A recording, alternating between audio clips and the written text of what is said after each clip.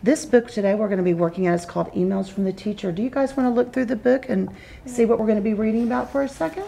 Kristen Gray spends a large part of every day exposing students at Ginnings to the magical world of reading. Okay, so Anthony, good job reading. I describe it that excitement when children are starting to get it and putting their strategies into place, just like a first grader. They come in, they're reading, they they kind of know about reading, but then all of a sudden that little light bulb magically comes on, and that's so exciting and heartwarming for a teacher just to see that.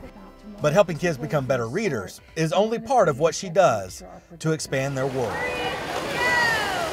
The Ginnings Swim Club is Gray's brainchild. Every spring, fourth and fifth graders from Ginnings go to the natatorium for what to them is a fun field trip. But in reality, it's much more important than that.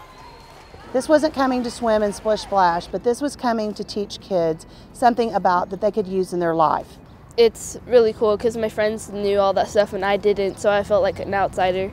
So now that I know, I can tell them about it. I'm a crier, so when I see them successful or I see that child that first day that's, you know, just got knuckles on the wall, and by the last day they are letting go and swimming, are their strokes refined that first year? No. But are they swimming and could they save themselves if they got in a situation? Yes, and that's comforting for me to know. Okay, pull me in. Giving kids that feeling is what keeps Gray going. She breaks down educational and social barriers for her students. That kind of work is not easy, but it makes these kids' lives easier. And for Gray, that's all that matters. What I see are little hearts.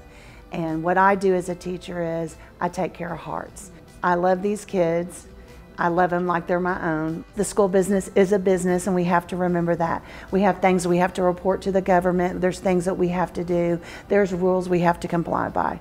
But at the end of the day, what we need to remember are these are children, these are babies, these are little hearts, these are our future. And that's why I do what I do, and that's why I stay at Ginnings.